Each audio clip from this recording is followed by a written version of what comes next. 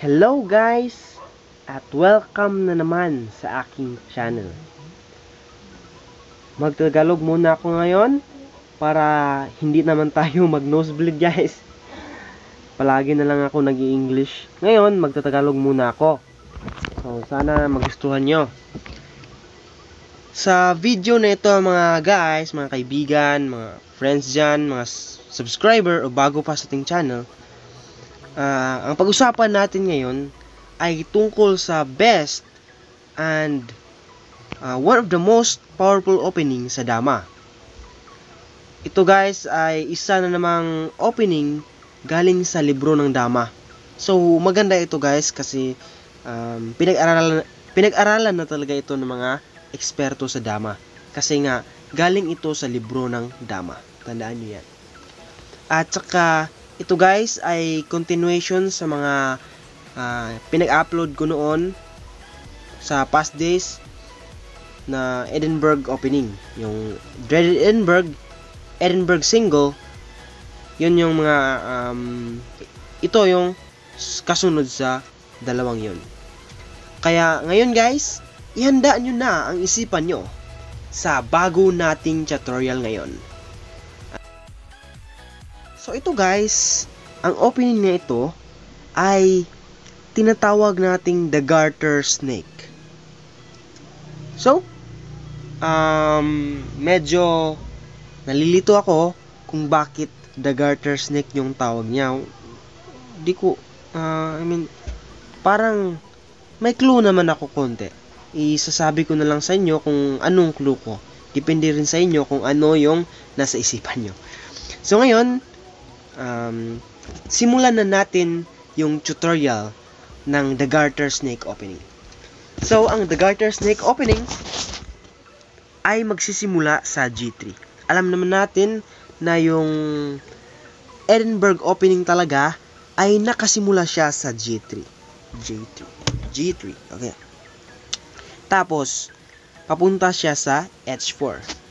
So, yan yung first move kapag gagamit tayo ng The Garter Snake. Tandaan nyo yan para maging mas effective pa yung mga games nyo guys. Because the more you learn is the more chances to win. Ngayon, ang ating opponent ay papunta galing sa D6 to C5. Diyan sila papunta. Ngayon, nakikita nyo, maganda yung formation natin. Yan. Ngunit, ang problema lang din, ay maganda rin yung depensa ng ating kalaban. So, pinagsasabi nating depensa, uh, mostly sa depensa, tatlo talaga yung bato. Except na lang kung nanggaling sa corner, kasi dalawa lang. Pero ito, tatlo talaga kasi defensive. Ayun, tingnan nyo. Tatlo siya, tatlo naman dyan, tatlo dyan, at saka dyan. Diba?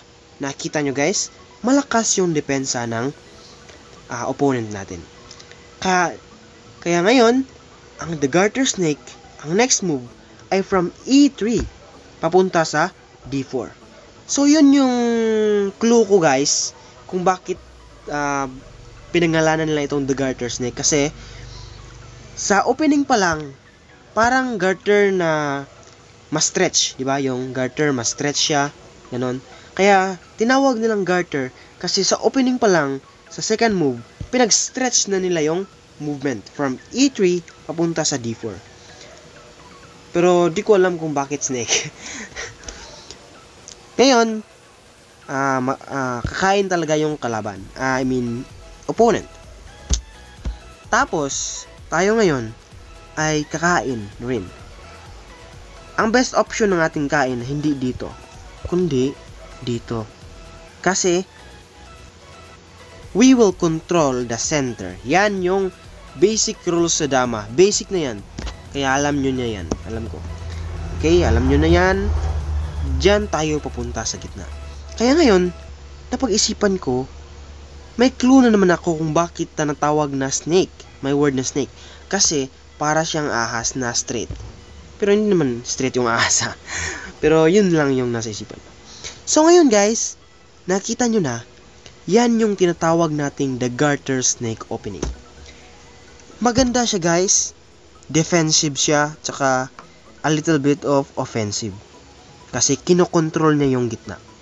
So, ang upside ko para dito ay good movement siya para sa defense with a combination of offense. Nakita nyo, apat yung nasa gitna natin. Malakas talaga yung depensa natin. Tatlo lang nung sa kalaban, tapos sa atin, apat. Kaya malakas talaga.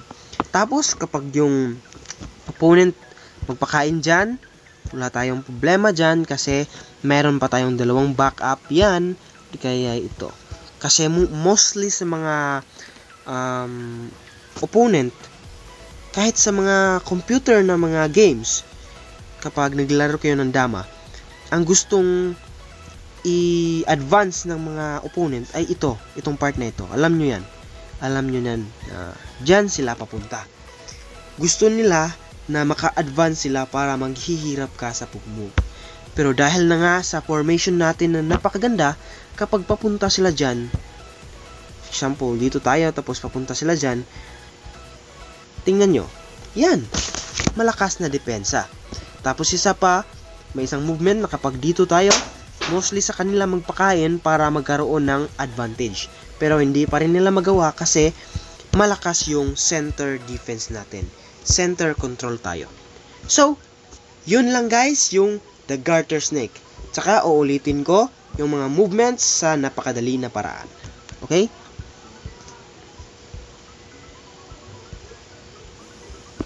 Yan lang guys. So, napakasimple lang para sa inyo. Alam ko yun na nasisimplihan lang kayo. So, um, yun lang guys. Sana nagustuhan nyo yung tutorial natin ngayon. Isa itong magandang defense with a combination of offense. At sana guys, huwag nyong kalimutang mag-like, mag-subscribe, at pindutin na rin yung notification bell para magiging updated kayo sa mga bago kong videos.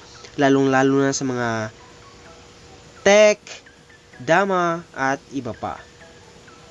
At isa pa pala guys, sana wag nyo ring kalimutang i-share lalo na sa mga kaibigan nyo na gustong gusto ring matuto ng dama or uh, pang-aliw lang sa kanila. Yun guys, i-share nyo.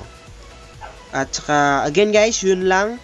At abangan nyo sa susunod na upload ang isa na namang napakagandang move sa dama. Sana pag-abangan nyo yan at huwag nyo kalimutang isupport ako. Thank you very much guys for watching and have a good day.